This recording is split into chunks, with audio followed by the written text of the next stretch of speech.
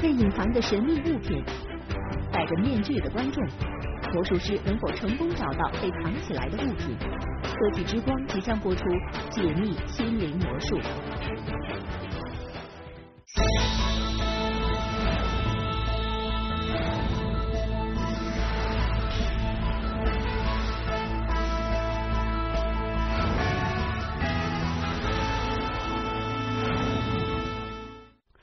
其实魔术啊，在世界各国的流传都已经非常久了啊。你比如说，在欧洲，它就有很多街头进行杂耍的人可以给你进行魔术表演。而我们中国啊，很多古籍当中也都记载过所谓幻术的存在。幻术其实就是魔术，在我们中国所谓的说法。你看啊，它可以凭空啊长出一个桃树来，甚至说呢，让小孩可以沿着这个树啊直接爬到天宫当中去，王母娘娘的蟠桃园当中啊，给大家摘下来一颗啊又鲜。又不大的蟠桃，而这个季节呢，又恰恰是在冬季，哎，因此说啊，古人玩的有些魔术啊，到现在我们都得去猜测它到底是怎么变化出来的。不过要说呢，后来欧洲的很多传统魔术啊，看起来那真的是非常绅士啊，往往呢是在这儿搁一个黑皮箱，黑皮箱下面呢还有一个金属支架，这个表演者呢自己啊要穿的非常的正式，往往都是燕尾服，随着他的魔杖到处一伸呢，没准啊就从他的帽子里变出一只兔子。或者呢，从一把火里头啊变出一只会飞翔的鸽子。但是呢，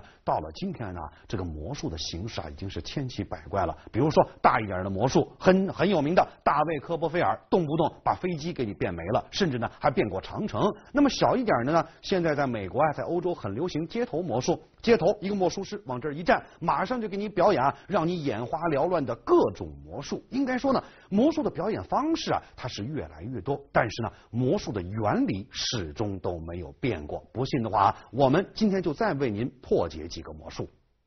究竟发生了什么？难道我们被骗了？秦岭魔术师用了什么妙招？就连科学家也无法回答这些问题。心灵魔术充满了魔幻色彩，心灵魔术师似乎能够创造奇迹，在常人看来，他们是拥有特异功能的人。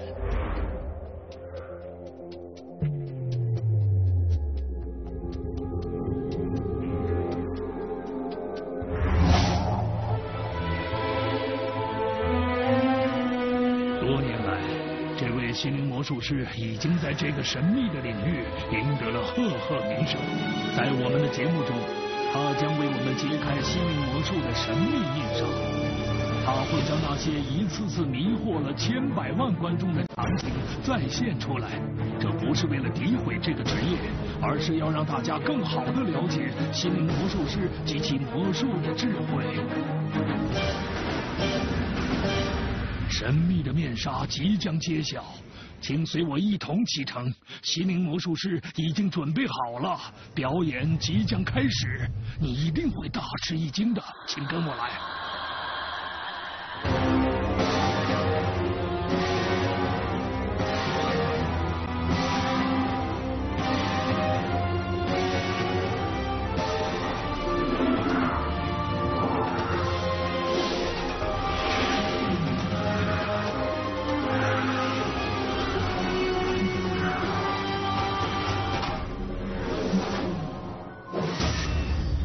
说过，我要带大家开始一场不可思议的魔术之旅。你很好奇，我感觉到了。准备好了吗？心灵魔术师正等着我们呢。心灵魔术师说，他有一个与他心有灵犀的护身符，他要把它交给一位观众。这位女士，请您拿好，一定要小心。他是另一个我。现在我回到舞台中央，现在麻烦您站起来。您的任务非常简单，那就是把护身符藏起来。我会背对着您。当我背对着您的时候，您就可以开始藏了。听懂了吗？藏在您身后或者身边的某位观众那里。一切都取决于您，尽可能藏得隐秘一些，好吗？我已经转过身了，请走下座位，把它藏好。不要藏得太简单、太随意，那样我会很容易找到的。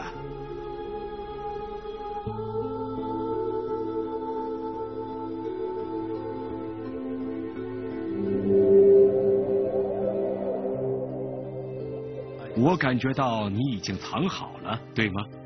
很好，不过我还不能转过身来。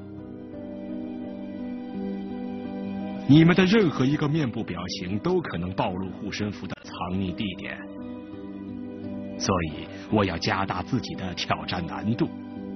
每个人的座位下面都有一个面具，我为大家准备的面具都一模一样，请戴上面具。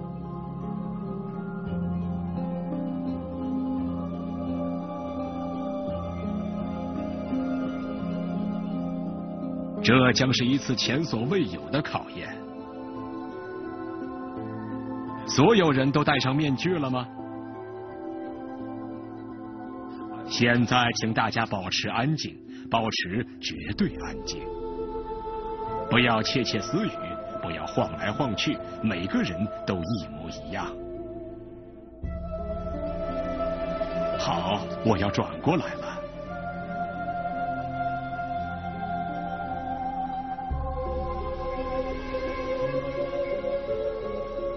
哦，难度超出了我的想象，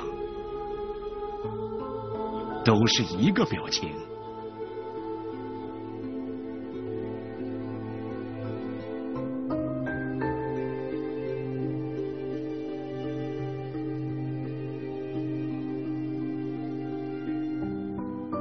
在第一排吗？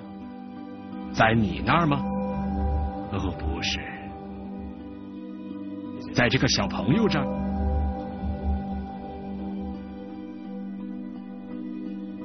难道是第二排？不是，这里感觉不对。那么是第三排吗？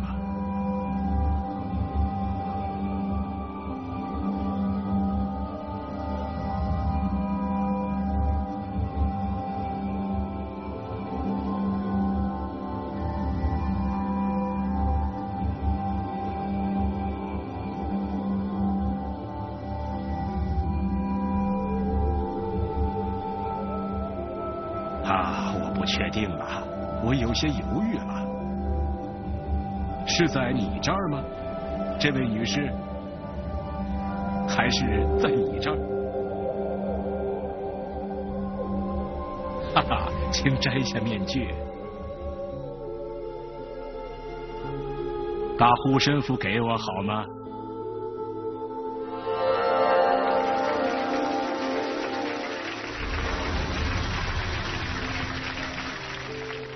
你很惊讶，是的，我感觉到了。心灵魔术师究竟是如何做到的？我们来回顾一下。事实上，心灵魔术师还有一名秘密的助手，这名助手全程都在用一个遥控装置向他发出信号，这样他自然就知道该去哪里找了。心灵魔术师的身上佩戴了一个电子装置，一根在左边，一根在右边。他就是用这个来接收指令的。虽然心灵魔术师声称他是通过某种精神上的特异功能找到护身符的，其实他扮演的不过是一个遥控机器人的角色。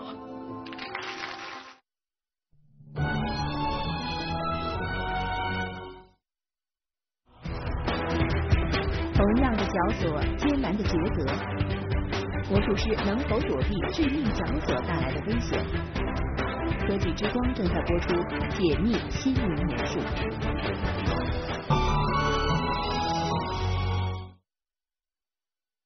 接下来我们将看到一个非常惊险的心灵魔术。这一次，我们同样需要一位现场观众的配合。心灵魔术师称，他的魔力能够让他感知危险，进而逃脱致命的绞索。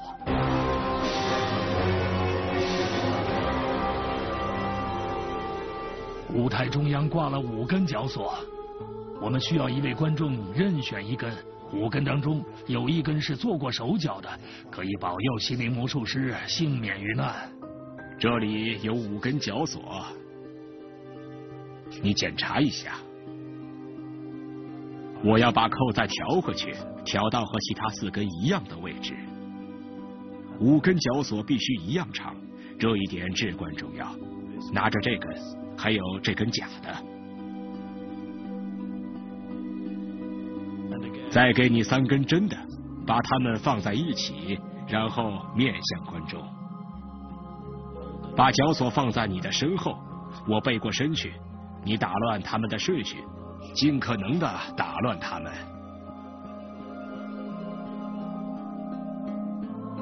好了吗？好了。大家看，这是一把绞索，每根都一模一样。下面我再把它们挂回去。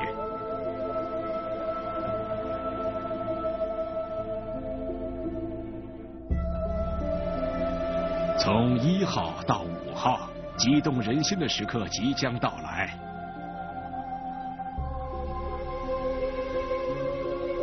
好的，大家看，我手里有五张牌，对吗？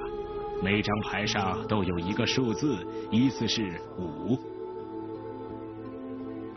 一直到二，最后是一，当然还有三跟四。五张牌，现在我要把它们打乱。你不知道每张牌的位置，对吗？每张牌上都有一个数字。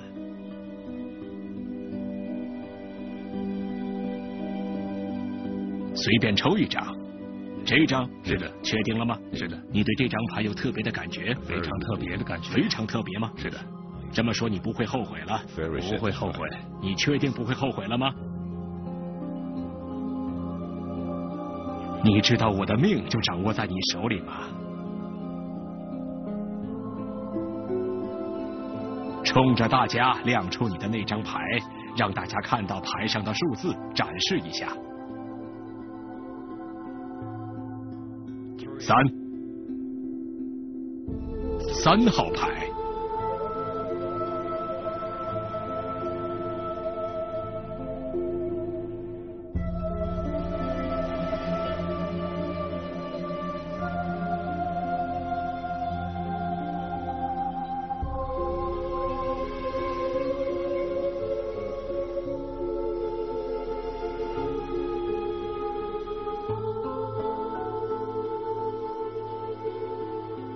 依然对这张牌有很特别的感觉吗？是的，没错。我听出你有些犹豫了，所以我要再问一次：你确定你的选择吗？是的，非常确定。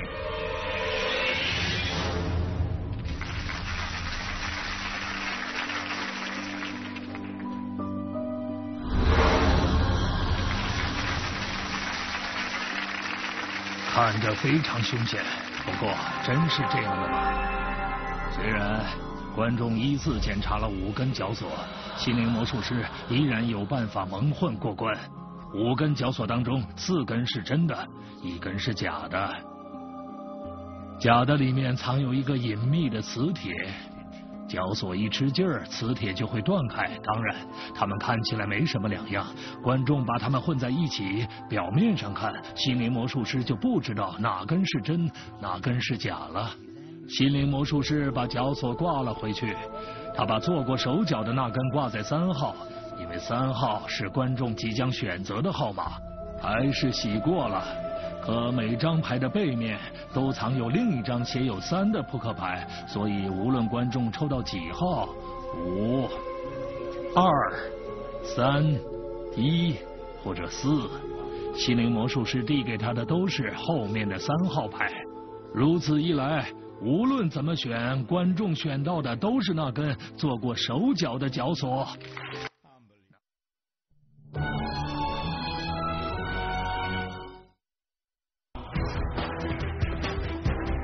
一饮而尽的是清水还是盐酸？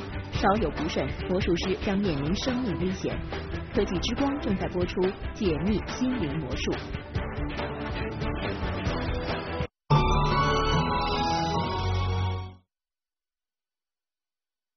准备好了吗？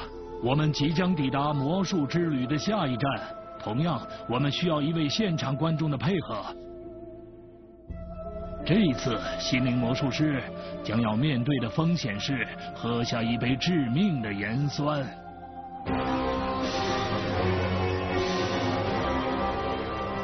观众走上舞台后，心灵魔术师发给了他一个护目镜。盘子里有三杯水，请走过来一些。这里还有一杯，一杯看似清水的盐酸，但它绝不是清水。为了加大挑战的难度，每个杯子的装水量都是相等的，所以看不出任何差别。现在，请你全神贯注的盯着这四杯液体，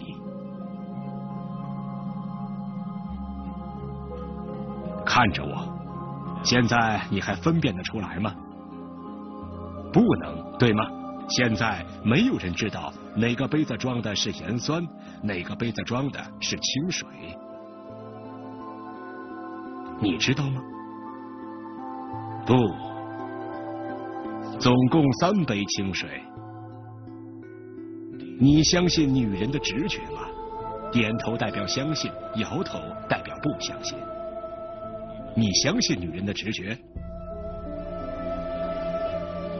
那么，请选择一个你认为安全的杯子，指给我看。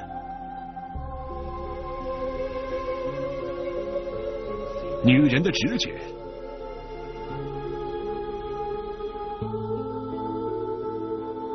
你来喝。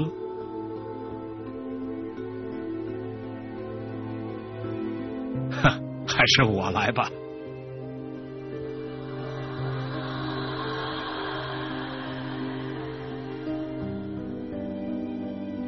清水，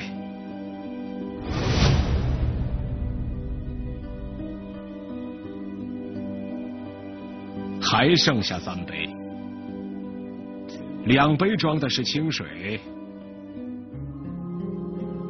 一杯装的是致命的盐酸。你依然相信女人的直觉吗？相信就拼命的点头，不相信就拼命的摇头。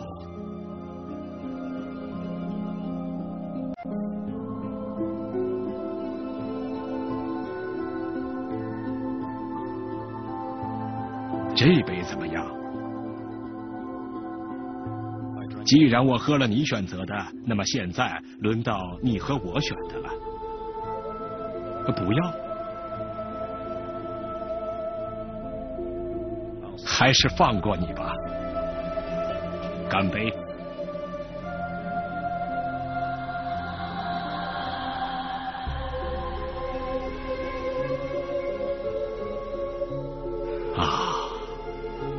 可口的清水，还有两杯，一杯是盐酸。一杯是清水，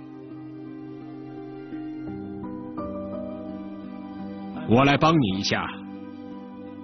看着桌上的两杯水，抬起手放在它们上面，感觉一下这杯，还有那杯，仔细的感觉一下。现在我要放手了，试着感觉一下。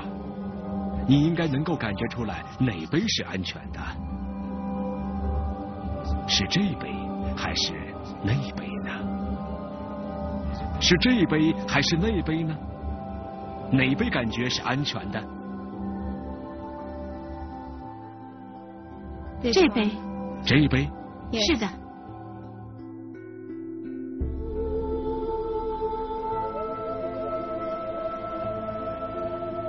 真的确定吗？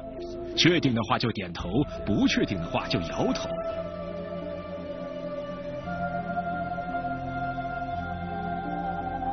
如果你选错了那我的命可就没了。你担得起吗？是。你会因此自责吗？不会。不会。你需要换一杯吗？不换。你坚持你的选择？也是的。好的，非常好。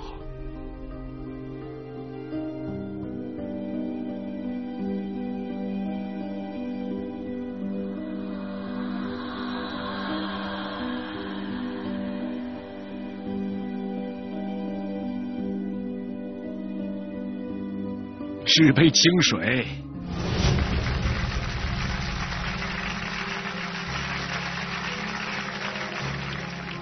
有些观众肯定充满了疑惑，当然这是非常正常的。下面我就证明给大家看，你跟我一起，给你拿好，捏成一个球。如果最后这杯真的是盐酸。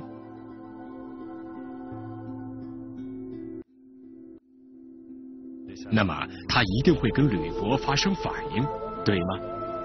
如果杯子里面装的是盐酸，你就会看到，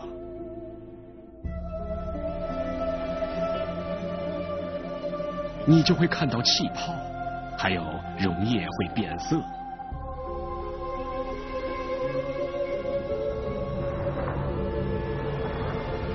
看到了吗？站远一点。我还可以证明，这里有一把刀，看呐，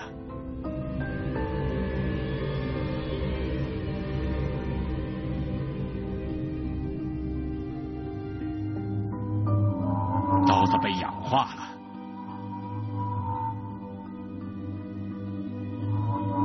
非常清楚。我们站得再远一些，到这边来。你想最后再尝一口吗？不，不，我也是这么想的。真是神奇、惊险、刺激，起码看起来是这样的。然而事实远非如此。我们一起来回顾一下。其实四个杯子装的都是普通的清水，无论喝到哪杯都是安全的。在心灵魔术师准备好的铝箔里面。藏有一个可以让清水变色，同时产生气泡的泡腾片，所以这杯危险的盐酸并不像他说的那么危险。刀子的一侧涂有某种铁锈色的物质，遇到水以后，这种物质才会显现出来。